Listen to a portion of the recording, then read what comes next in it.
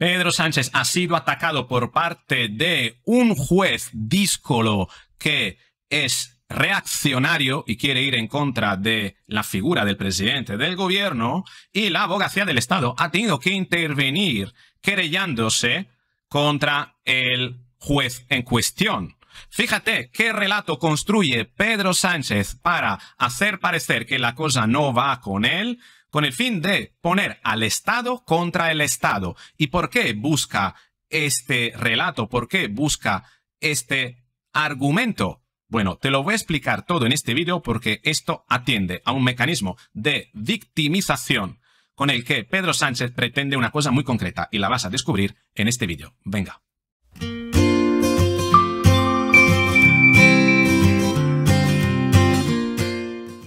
Sí, así es. Eh, el relato que eh, dio a conocer ayer Pedro Sánchez, la verdad que es de los mejores cuentistas eh, que puede haber, ¿no?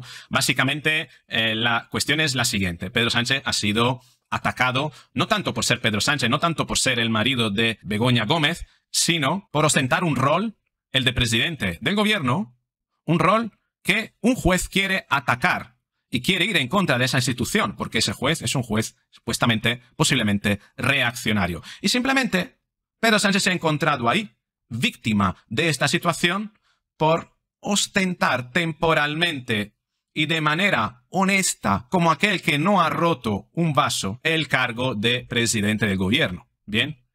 En fin, que a él le ha tocado básicamente sufrir este acoso reaccionario. Y yo me pregunto, ¿qué acoso? Eh, ¿Qué hay de reaccionario en todo esto? Simplemente se le ha citado a testificar en un caso de corrupción, de supuesta corrupción, donde el juez está tratando de recopilar información. Ni siquiera le ha imputado dónde está la ofensa a la institución estatal. Ah, que no hay, ¿verdad? Entonces, ¿hasta qué punto todo esto, toda esta puesta en escena de Pedro Sánchez de querellarse a través de la abogacía del Estado no representa más bien una querella instrumental con el fin de, básicamente, desprestigiar al juez de cara a una parte del electorado y más aún se hace parecer que este juez no va contra él, Pedro Sánchez, sino que va contra el atentar a la figura del presidente del gobierno. Por tanto, atentar a las instituciones. ¿eh? Fíjate. Y además trata de ganar tiempo, un tiempo importante porque si prospera o mientras se pronuncie alguien acerca de esta querella, todo el trabajo del juez penado quede congelado hasta ese fatídico 30 de septiembre, que es el plazo final que le ha dado la Audiencia Provincial de Madrid al juez para que recopile toda la información. Fíjate, hay un plazo, tiene prácticamente dos meses de tiempo el juez, de los cuales, de los cuales uno es prácticamente un mes de vacaciones. Y claro, si Pedro Sánchez consigue congelar el tiempo y hacer que se agote se acerque lo máximo posible hacia el 30 de septiembre, impidiendo, entorpeciendo las labores del juez, desde luego va a incrementar sus posibilidades de que el caso se archive. Y de que posiblemente no llegue a ser siquiera imputado él. Fíjate qué interesante este juego, ¿no? Este, este movimiento por parte de Pedro Sánchez, que sin embargo lo argumentaba a través de un relato que vas a escuchar ahora, ayer, en la última comparecencia de, eh, antes de las vacaciones de verano. Fíjate. La Abogacía General del Estado, ¿qué ha hecho? Pues ha hecho defender la institución de la presidencia del Gobierno de España.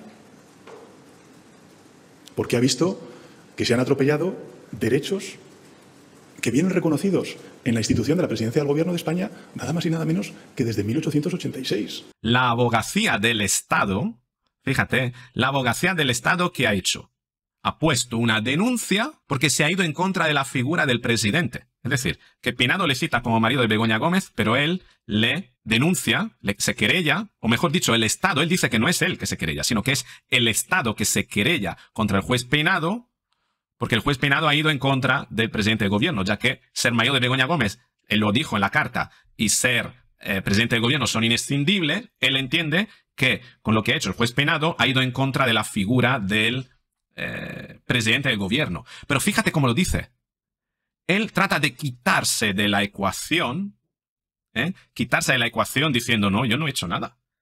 ¿eh? Es el Estado que se está protegiendo, son los abogados del Estado que están viendo que ahí hay un delito. Lo que está tratando es de poner al Estado contra el Estado. El Estado representado por la abogacía del Estado, enfrentarlo al Estado representado por el juez peinado. Él se quiere quitar del medio y quiere presentar un conflicto entre dos partes, una que está politizada y otra no, pero de la que él no forma parte. Él está tratando de tomar distancia con el fin de mostrarte que él es neutral, con el fin de que la cosa no va con él, sino va con un juez que ha querido ir en contra de la figura del presidente del gobierno como institución y no en contra suyo, ¿no? ¿Por qué lo quiere presentar así? Lo quiere presentar así para hacerte creer que hay un juez que va, que hay jueces que van en contra de los presidentes del gobierno, siendo los presidentes quienes fueran. Que no se ha ido en contra de él por ser Pedro Sánchez, sino que se ha ido en contra de él por ser presidente del gobierno. Que hay jueces que van en contra, que hay jueces reaccionarios. Pero no porque tienen algo en contra de él, no, porque tienen algo en contra del Estado. ¿Y por qué lo quiere presentar así? Pues eh, eso lo hace Nicolás Maduro también. Porque mientras él te hace creer, te siembra la duda de que existen personas que están en las instituciones para hacer daño al Estado, haciendo daño al Estado, obtiene como consecuencia por parte de las personas que le escuchan una opinión mucho más neutral, consigue llegar a muchas más personas. Hombre, porque no es lo mismo decir que están yendo en contra de mí entonces alguien podría decir, bueno, claro, le está denunciando, él es parte implicada, no, pero es que están yendo en contra del presidente del gobierno, están yendo en contra de una institución. Hay personas que son capaces de romper al Estado.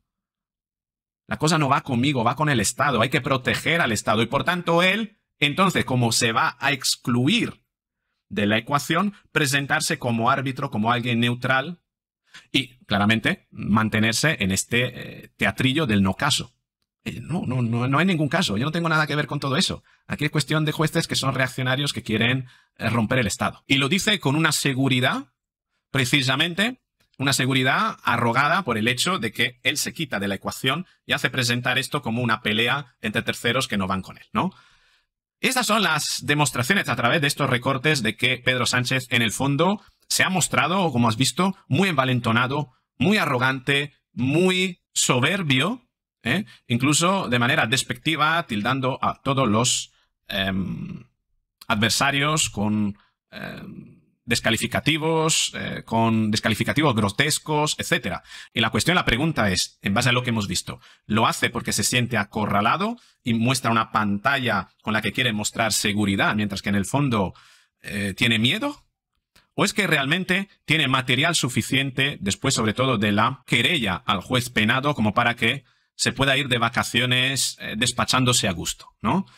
Pues yo creo que más bien en la segunda. ¿eh? Yo creo que en el fondo él siente que tiene bastante bien atado todo y que ha conseguido construir un relato suficientemente creíble. Tiene encauzado el tema del juez, eh, del juez penado. Posiblemente consiga apartarle del caso a través de esa querella o que el caso al menos se, em, se paralice durante un tiempo, se congele. Tiene muy controlado el el Tribunal eh, Constitucional, por tanto, todo lo que pueda mm, caer allí puede eh, al final ir a su favor y sabe que se puede ir de vacaciones bastante tranquilo. Y dentro de esa tranquilidad, entonces, se muestra mucho más contundente, mucho más autocrático, mucho más arrogante, soberbio en su actuación. Pero esta es mi conclusión. La cuestión es que esta soberbia que él está mostrando, no sabemos hasta qué punto es una soberbia que poco a poco le ayuda a, hacer que ese muro que él quería levantar contra los contrarios, ¿no? Se haga cada vez más alto y más espeso, hasta el punto de protegerle más, o quién sabe, hasta el punto de quedarse atrapado dentro, ¿sí? Porque ese es, es el riesgo al que se está enfrentando. Un poquito como está ahora mismo Nicolás Maduro, que sí que ha construido construir un muro contra sus adversarios, pero en ese muro está quedando atrapado, ¿no? ¿Hasta qué punto Pedro Sánchez se quedará atrapado en este muro? En lugar de eh, protegerse, no lo sabemos. ¿Hasta qué punto ese muro le va a alejar tanto de la realidad como para, mm, al final, creerse ese delirio, esa envoltura de delirio con el que él construye esa realidad de que España está bien, de que España está bien en lo social, en lo económico, en lo territorial, ¿no? Lo veremos en los próximos meses, pero ahí es donde realmente está la cuestión, ¿no? Hasta qué punto ese muro que está construyendo, del, que él ahora se siente protegido, le esté alejando cada vez más de la realidad y presa de, ese, eh, de esa lejanía, em, su visión se distorsione cada vez más y sus decisiones y políticas se conviertan cada vez más autócratas, en cada vez más tiránicas también, porque cuanta más distancia tome de la ciudadanía, cuanto más envuelto se encuentre en su delirio y cuanto más ese delirio se quede alejado de la realidad, más sus decisiones serán duras, serán contundentes, serán tiránicas y agresivas, ¿por qué no? ¿Eh? Bueno, y te estamos teniendo esa demostración a través de la, precisamente, la denuncia de la querella al juez penado. Y vamos a ver si veremos más. Recuerda que él tiene una gran intención ahora que es la de democratizarnos. Hasta qué punto nos va a democratizar de una manera más agresiva, ¿no? Veremos. Bueno, escríbeme qué es lo que opinas tú. ¿Cuál de, de las dos opciones crees? ¿Crees que está levantando una pantalla simplemente porque se siente inseguro y quiere mostrar un aire de seguridad? ¿O porque realmente se siente seguro y dentro de esa seguridad, entonces, acabe tomando decisiones cada vez más eh, contundentes, más tiránicas. Te espero en los comentarios. Si te ha gustado el vídeo, dale al me gusta, compártelo, suscríbete, activa la campanita y así nos veremos en el próximo vídeo.